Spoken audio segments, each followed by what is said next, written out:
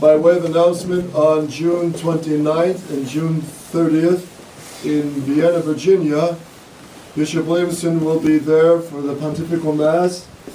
This is the 25th anniversary of uh, the consecration of the bishops in 1988.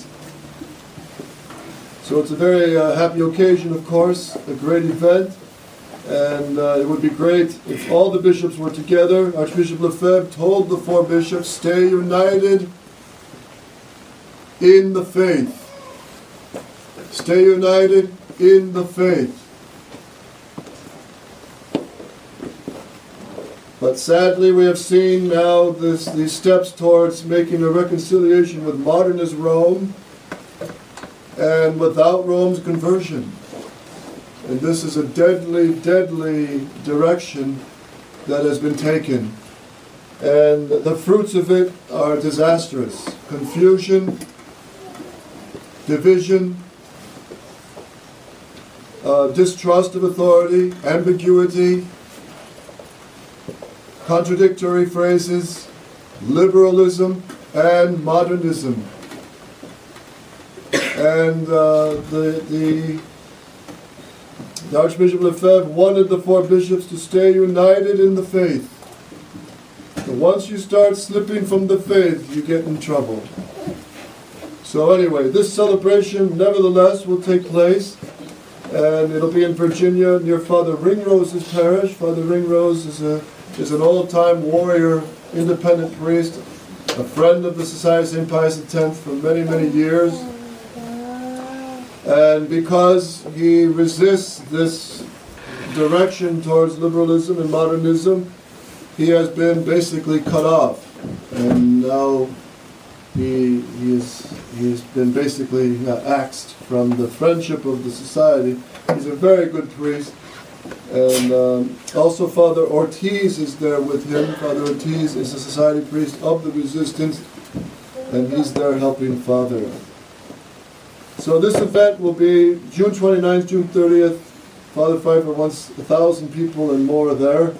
So if you uh, care to fly over there for it, you're most welcome to come. And there'll be many priests um, from all over the world, including the monks from Brazil, and um, we'll see if any of the, the nuns from Europe come.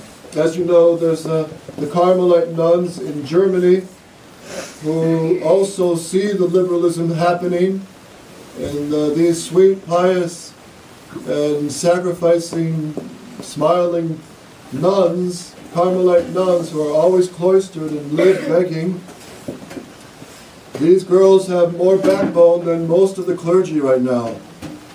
And they told, with all respect, of course, uh, they told Bishop Fellay and Bishop de Galarreta, do not come here anymore.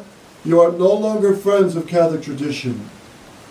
Because you are watering down the true Catholic faith, you are accepting Vatican II in the so-called light of tradition, you are accepting the new Mass as legitimate, which Archbishop Lefebvre said couldn't ever happen, and you're accepting completely, totally the new code of canon law. And all the liberal, all the liberal and modernist doublespeak, the punishment and unjust treatment of the, the true sons of Archbishop Lefebvre who are saying, Your Excellency Bishop Fellay, this is wrong. You cannot be going this direction. Bishop, Archbishop Lefebvre said, do not go this direction. And those good priests throughout the world have been smashed, silenced, transferred, have been crushed. And one of them in France has been going through trials in Menzingen, and uh, he's probably going to have a nervous breakdown. Father Matthew Salenave, pray for him. And uh, uh, it's very, very sad. It's very, very sad. But you cannot live in the clouds. You cannot live pretending it's not happening. We live in a warfare. We are in a spiritual battle to the day we die. In these days we knew the Virgin Mary told us they're going to come when the darkness would spread over the whole church. The faith will be lost. Rome will lose the faith and become the seat of the Antichrist. That's not fiction. It's not fairy tale. It's not doom and gloom. its reality. And so, if God put us at this time, especially you children who are going to receive your God for the first time today, God will give you special strength, special grace to become saints in these days. So these are days to rise up to the occasion to be saints and to uh, trample over the world, trample over the deceits of the devil, and by the grace of God, aim for heaven, and fight for heaven, and keep the faith. Today, on the first Pentecost, the Virgin Mary was with the apostles, and they were in the cenacle where our Lord had the first Mass, the Last Supper. And they were there praying, and they were preparing, because our Lord told them He would send the Holy Ghost. And on this day, the first Pentecost, there was heard throughout the city a huge rumble of wind. And down over the heads of the apostles came flames of fire that descended on the Virgin Mary, and from her over all the first pope and the first bishops of the Holy Roman Catholic Church, the apostles. And they were filled with fire. And the apostles who were like mice, afraid, because they were hunted down by the Jews. The name of Jesus was forbidden to be spoken all throughout Jerusalem, especially in the temple. Any followers of our Lord Jesus Christ had a death threat. And hence the first wave of persecution on the apostles. And they were scared. They were like little mice. Little mice. And the Virgin Mary, she's the mother of the first pope and the apostles, and she, she was a mother to them all. And she strengthened them and through her they visibly saw, through Mary, the graces come. Through her, the Holy Ghost descended and descended on the other apostles. And as St. Bernard says, Jesus Christ is the, is the head of the Catholic Church. Mary is the neck of the mystical body, because through the neck, all the information goes from the head to the rest of the body.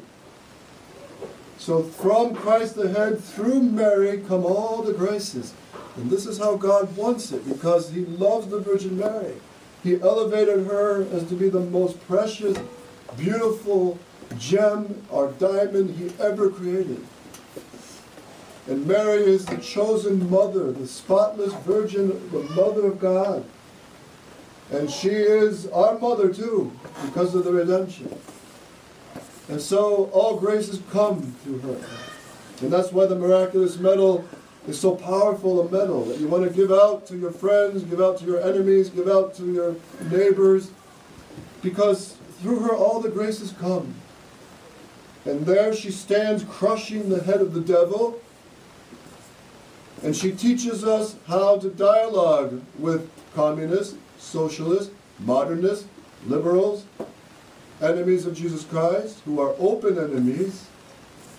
And I'm not talking about, you know, the neighbor across the street who doesn't know much and he asks you, you know, why, why do you make the sign of the cross? Why, why your girls wear a dress? Why this? Why that? Why do you have a crucifix? Why do you have a statue of Our Lady? You do talk to them, obviously, because there are souls that are lost and you want to lead them to the truth by your good example, by charity, by the, the, the true love of your neighbor. And that's that should shine in all of us, the children of God, the children of the light. But with the true dead set enemies of Christ, you do not dialogue. You do not shake hands with the devil. You do not dance with him because he will he, he's got more tricks than we have. And he will wrap a fast one on you and take and trip you up. That's why Archbishop Lefebvre said we cannot shake hands with the modernists, we cannot dialogue with them until Rome clearly comes back to Catholic tradition. And so the the Virgin Mary, how did how did she dialogue with the devil? Unlike Eve. Eve got curious, she got questioning, she saw the, the apple, she thought, oh, well, hey, I could be like God. You won't die. the death, the devil said. He lied to them. You won't die the death. The first to lie. That's why we must never lie. We must hate lies. And the devil dialogued with Eve, and Eve foolishly dialogued with the devil, and Adam also. And who won? We know who won, and we still suffer from it. Called original sin. That's why there's sickness in the world. That's why there's wars. That's why there's disease. That's why you get old. That's why there's death. That's why mothers give birth with pain. That's why children can be a pain sometimes, because original sin is real. And all of us, even if you are a monk or a nun in the farthest cloister in the world, you will still have to battle the effects of sin. The devil, the flesh, and the world. And death. So, our Virgin Mother, she shows us how to dialogue with the devil. What do you do? You step on him and you crush his head through the power of the Virgin Mary. That's how you deal with the enemies of Jesus Christ. You don't dance with them.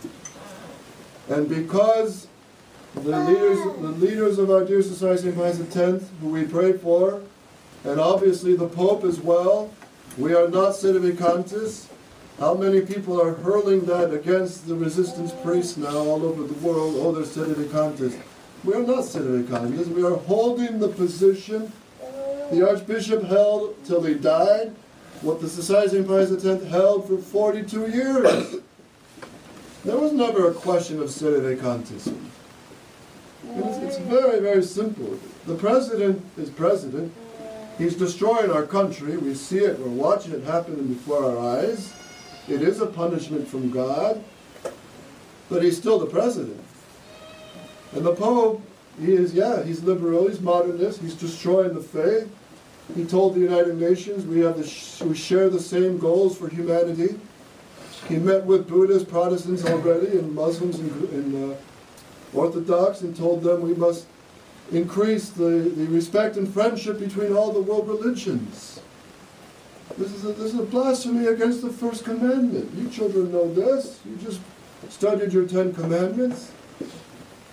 I am the Lord thy God. You shall not have any strange gods before me. And so we have to pray for this Pope. But we are not sedevacantists. And we just hold the line. But that's an easy mud to, to hurl at the resistance. And why the resistance? Because we are resisting the leaders of the Society of Pius X who are pushing to go towards modernism and liberalism and to, to put themselves under Rome's authority. And in normal times, that's the most normal thing to be under the Pope, to be normalized and canonically recognized. That's, that's all the most normal thing. But it's not normal times. What do you do when the Pope is destroying the Catholic faith and not preaching it? And preaching ecumenism and religious liberty and collegiality and all the false errors, and now even bringing up the question of, well, married clergy may be a possibility. And doing nothing against his bishops and priests all throughout the world who are endorsing now same gender marriages, which is a terrible, uh, horrible sin against God. And all the vices that they are not condemning, the only vice they're condemning in their eyes is Catholic tradition. And as, the, as Pope Francis recently said, we can't go backwards towards the past. We've got to go forwards to the real fulfillment of Vatican II. So, dear faithful, the, the apostles who were mice before, when they were filled with the Holy Ghost, they were lions. They left the cenacle like lions, roaring the Catholic faith roaring the Catholic truth. And on the first Pentecost Sunday, how many were converted? 4,000, and then 5,000, and many, many conversions of the Jews. And remember, just 50 days ago was Good Friday, the, the earthquake of the crucifixion, the eclipse of the sun for three hours. the dead rising out of the tombs, walking through the streets of Jerusalem, telling the Jews, You killed the Messiah. And the, bl- the bloody red moon that came up the night of Good Friday. That's recorded by, that's, that's, well, the, the astronomers can conclude that now. There was a bloody red moon on Good Friday. And then the earthquake at the resurrection. And, and the Christ risen from the dead. No one has ever risen from the dead. And so all this was still fresh in the mind. It was all in the headline news. And the temple had been destroyed, and the curtain of the temple ripped in half top to bottom. Did you ever try taking a pair of scissors to uh, a, a thick uh, garment, a thick piece of material? It's not easy to cut. So imagine 60 foot high, uh, the, the, the veil in the temple, 60 feet high, a very thick material.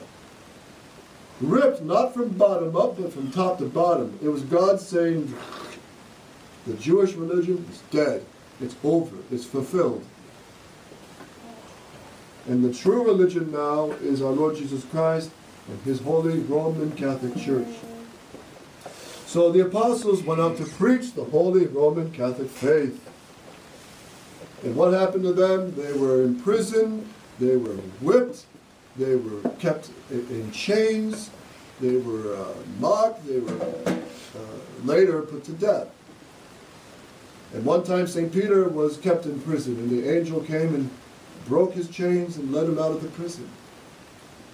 And uh, the Virgin Mary says St. Maximus, St. Maximus, an early Catholic martyr, he said that the Virgin Mary herself went to visit them in the prison, to encourage the apostles, bring them food, and encourage them to be to die and to spread the faith of, that her divine Son gave. So that is the great, beautiful mystery of Pentecost. Pentecost. And today, children, the our Lord says that the Mother Church puts these, this beautiful gospel today. If anyone loves me, he will keep my word. And what's his word? It's all his teaching, all his commandments, all his doctrine, to love God above all, to love your neighbor for the love of God, and uh, all his teaching in the scripture and tradition. If you, if anyone love me, he will keep my word. And that is the secret of happiness, is to follow our Lord Jesus Christ and all his teaching and, and all that's taught in the Catholic faith and the, and the commandments. That is the secret of happiness. If you want to be happy, keep his commandments. If you want to be miserable, break them. And believe me, believe me, we priests see many, many souls all over the, the, the country, all over the world, who, be, who have a, often a miserable life because of sin. They choose to offend God and they wonder why, why their soul is all messed up. But our Lord didn't promise that you won't suffer. But he says here, uh, my Father will love it, and we will come to him and will make our abode in him. The Holy Trinity will come and live in your soul. What is this called? You know this from your catechism. Sanctifying grace. What does that mean? Sanctifying grace. That means the most Holy Trinity lives in your soul. And that's why the saints were so happy even in the midst of much suffering. And all the saints, in every way, in, in all different ways, they all suffered in some way. Because in this life we, we, we must carry our cross with our Lord. And so all of us have a perfectly measured cross that God, as St. Francis de Sales says, God has perfectly cut, measured, and weighed every single cross of every single day that we carry. It's the most perfect cross for our sanctification for that moment. So he didn't promise we won't suffer. But if you keep the commandments, you're going to suffer joyfully, happily, peacefully. Because you know that you're glorifying God, uniting your suffering and your duties of state with Jesus on the cross. But the most miserable life is to live an enemy of God by breaking his commandments, living in mortal sin, loving mortal sin, and not going to confession, putting off the change of heart, contrition and, and conversion, putting all that off, and uh, that is to live a miserable life. Because to live in mortal sin is already to have a foot in hell. To live in the state of grace, you already possess heaven in your soul. Because God lives there. And you don't see him, you don't touch him, you don't taste him, but in your conscience you know. And that's why you children, you made your first confession. You know in your soul, you feel like you could fly. You feel as light as a feather because, because your soul is made pure by God's grace, by his precious blood. So today you're going to receive the first time, and for all of us, we should make it like our first time, the very body, blood, soul, and divinity of Jesus Christ. And it's a beautiful, it's a beautiful reality. No false religion, no false paganism ever dreamt of a God that would do what the true God has done. That he would come down from heaven, die for us to, to break our slavery to Satan, free us from the worst slavery, which is sin, and stay with us in all the sacraments. In confession, he, he heals your wounds, your bruises of your soul, and if you die by mortal sin, he brings you back to life. And in the Holy Eucharist, he feeds you. And not with, you know, a super vitamin, but his own life, his own blood. And that's the proof of the great love of God, because he, he wants to give everything, and he does give everything. He can't give more. He cannot give more than what he gives to us in the Holy Eucharist. So, you children, open wide your heart. And all of us, open wide your heart to ask God to fill our soul with the great, all the graces we need to grow in the love of God, to obtain heaven, to fight sin, and to serve God joyfully. And He gives you by the Holy Eucharist all the strength you need. And when the Israelites were in the desert, God fed them for 40 years. How did He feed them? He sent down manna. Every morning they would find manna all over the, the ground. 600,000 plus Jews wandering in the desert. And God fed them with this manna, which was kind of like a, it looked like a, a, a rich, dense, white Rice Krispies. And it had a, a sweet taste to it, like a honey sweet taste to it. And everybody gathered as much manna for each day that they needed. So for the man who worked harder and had to go sometimes into battle, they received extra strength from it and nourishment. And children also, they received the perfect nourishment they needed for that day. So it's really incredible because it was God feeding them with this bread from heaven every day. And the children would ask, Mom, where's all this food come from? Does it grow from the rocks in the desert ground? And she'd say, No. She says, It's from heaven. Manu means, What is this? It comes down from God to, to earth. And that only fed their bodies. But now, every single Mass, the true Catholic Mass of all time, God does come physically down from heaven. Like fire, when uh, Elias called down fire from heaven, the priest calls down fire from heaven. And the living bread of our Lord Jesus Christ, the true God, comes on the altar and, he, and you are you eat his flesh, you eat, you drink his precious blood, which is sweet to the soul. It's like sweeter than honey and sweet wine to the soul. That's why in the Canticles our Lord says, Come, my, my beloved, come, my friends, come to my, my uh, banquet, a sacred banquet in which Christ himself is received. The memory of his passion is renewed, reactualized in the, in the sacrifice. The soul is filled with grace. And the promise, the pledge of future glory is given to you. And so he says, Come, drink, and be drunk on my wine, my sweet wine. Be inebriated, O my friend, with this sweet wine of grace. That's what our Lord says. And this shows his, his great love for, this, for each soul. And this should be our greatest happiness, is to receive our Lord. Now, when you receive him in Holy Communion, your tongue won't taste. It's going to taste just like a host. But the sweetness to the soul is rich. So open wide your hearts and let us ask the Virgin Mother, the Virgin Mary, when you go to communion, receive, ask her heart, ask the Virgin Mother, give me the heart that you had to love our Lord.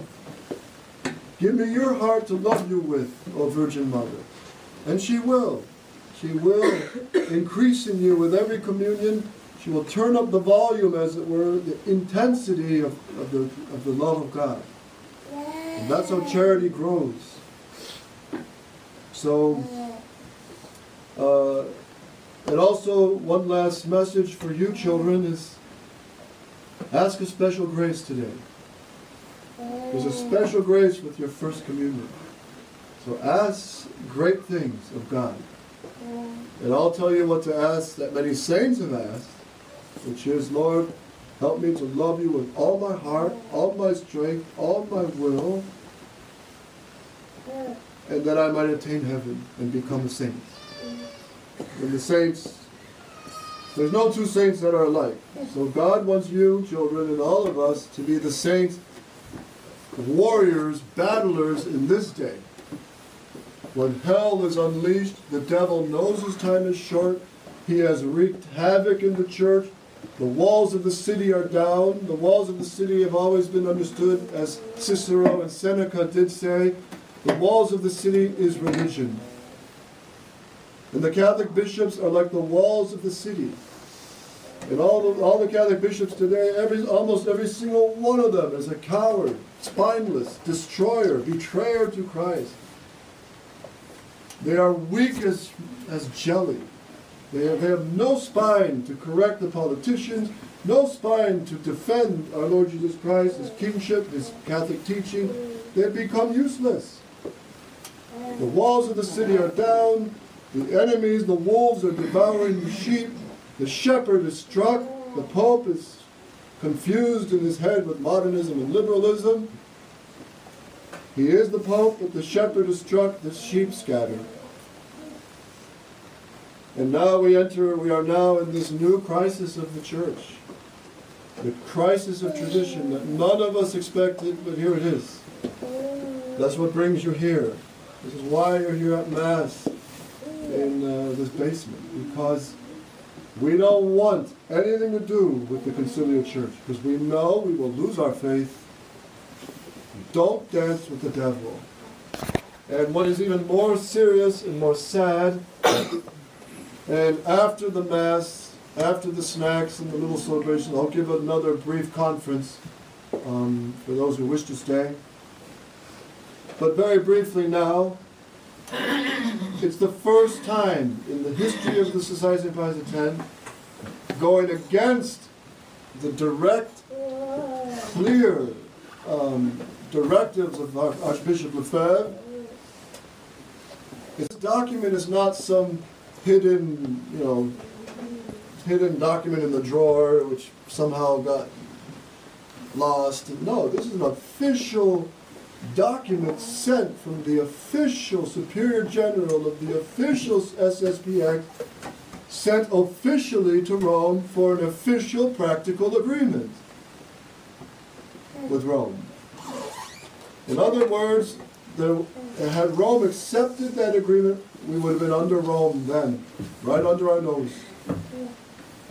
And the Pope, being, he, he saw that there was a division because the three bishops didn't want Bishop Fellay to do this because they saw the danger to the faith, to the faith, to the faith.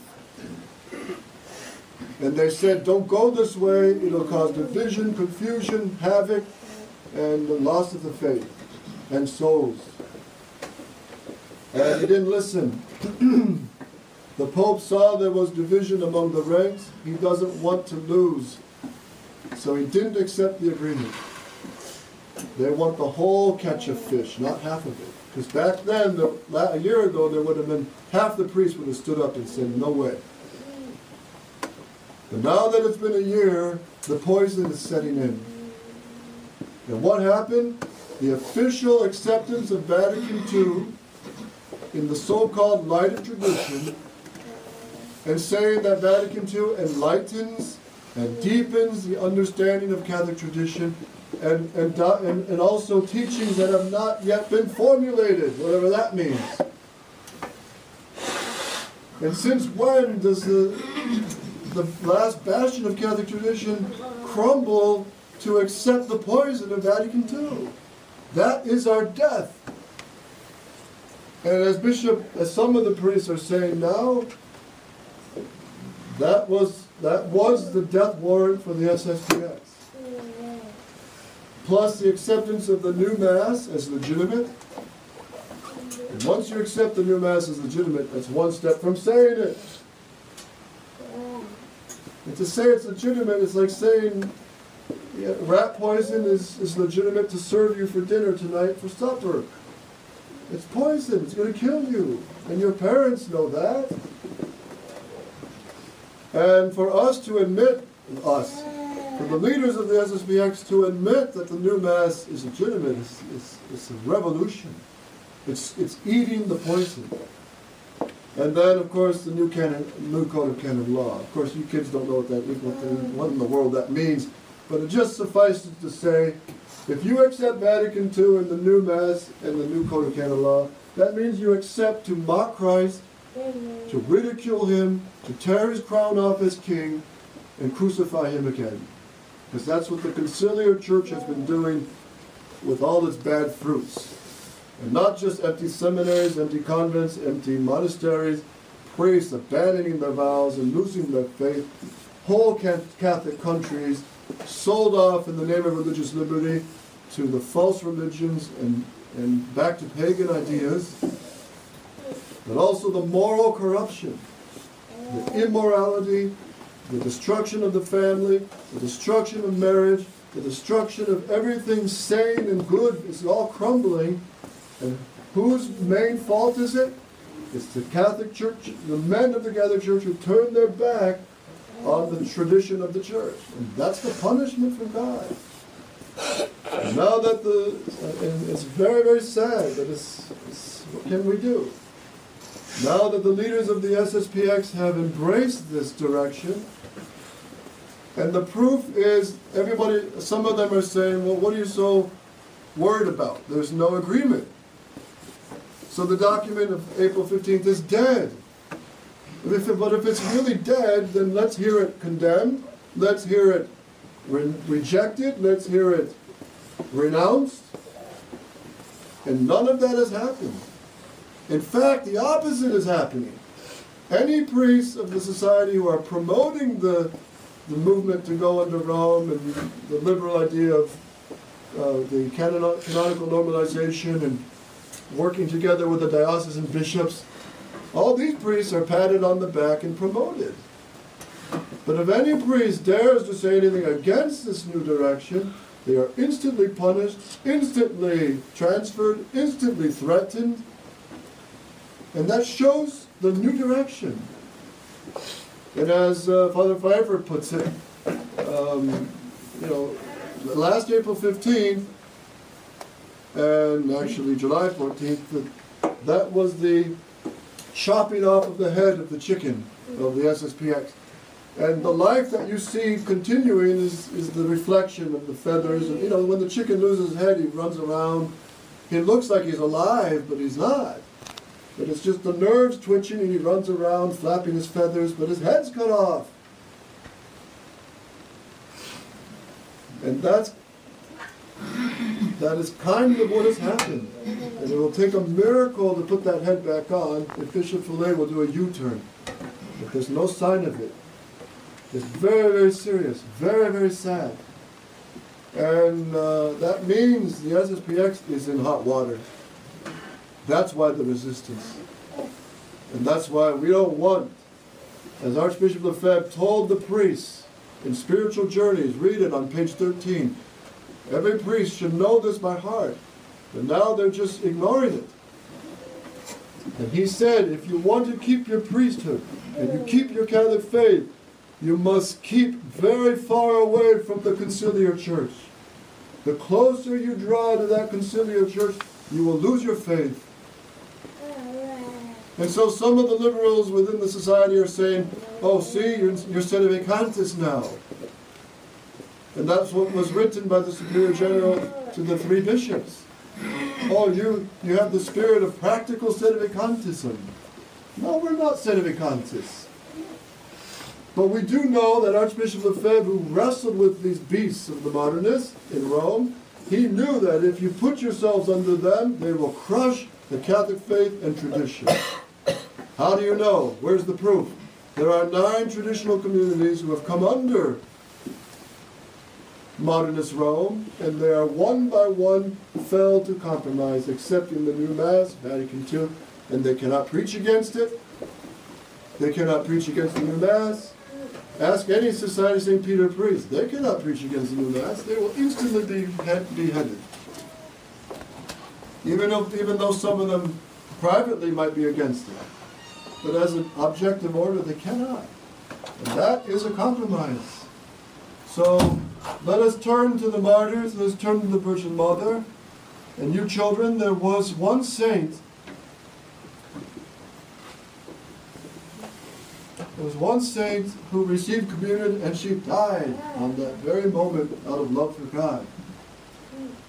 She died out of love for God.